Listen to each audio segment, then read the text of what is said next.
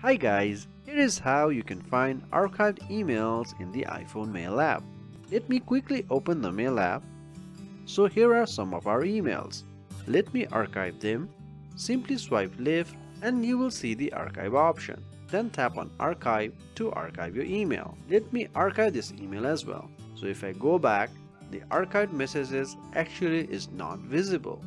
So to see the archived message, simply tap on edit at the top and you will see all these options. You need to scroll down. But we had some issues scrolling as it would tick all the options. Anyway, you can scroll down from here and you will see all archive. Tap on it and done. Now you will see all archive options and if you tap on it, you can see the previously archived messages. You can trash them out by swiping left or tap on edit and move it to the inbox. Something like this. And to hide the archive option from here, simply tap on edit and untick archive and done. Hope this video was useful. Thank you very much.